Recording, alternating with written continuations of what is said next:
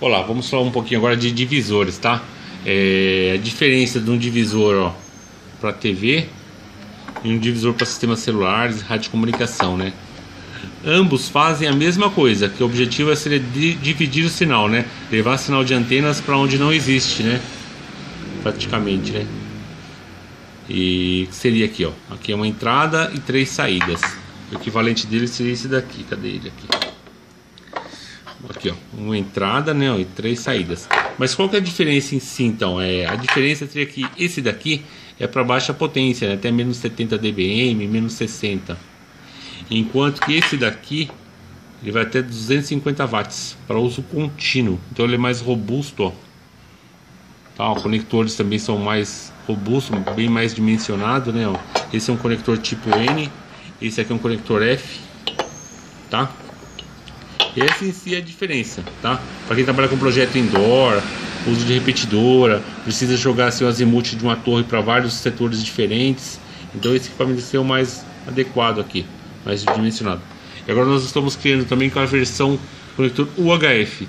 Para quem trabalha com rádio, difu rádio difusão, rádio comunitária, né? Ou rádio comunicação, e às vezes você quer focar o sinal, né? Para uma determinada região, uma determinada rodovia, a casa de alguém importante. Então esse aqui é o seu ideal aqui, ó. Você coloca lá uma antena, né, o transmissor e aqui as saídas das antenas direcionais, né, que se aponta para uma região específica que você quer atender. Tá bom, gente? Espero que tenha esclarecido aí. Qualquer dúvida aí, por favor, deixa seu sua pergunta aqui, ó, no campo de perguntas aqui. Dá um like aqui no nosso canal aqui, acompanhe nossos lançamentos, nossos vídeos. Sempre produtos de alta qualidade, tá? Desenvolvido pela nossa engenharia aqui, tá? Com recursos próprios gerando emprego aqui no Brasil. Ó. Aqui uma carga de RF né, ó, com conector N. Aqui uma outra carga de RF 250 watts com conector UHF.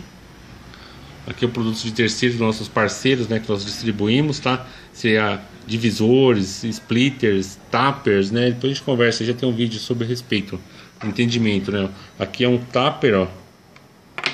E cadê um divisorzinho correspondente aqui? Aqui é um tapper. E aqui é um divisor, ó.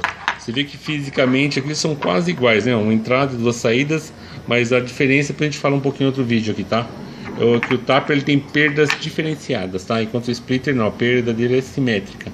Esse aqui é uma perda assimétrica. E é isso aí, gente, ó. Espero que tenha gostado do nosso vídeo aqui, tá? Aqui é um atenuador de alta potência, tá? Para uso sistemas celulares, um MTS. E um abraço a todos aí, espero que tenham gostado dos nossos vídeos aí. Curta o nosso canal e uma, qualquer pergunta, dúvidas, deixar um questionamento aqui no campo de perguntas aqui do nosso canal. Respondemos assim que possível, tá bom, gente? Um abraço a todos aí e até a próxima aí. Valeu aí. Tchau, tchau.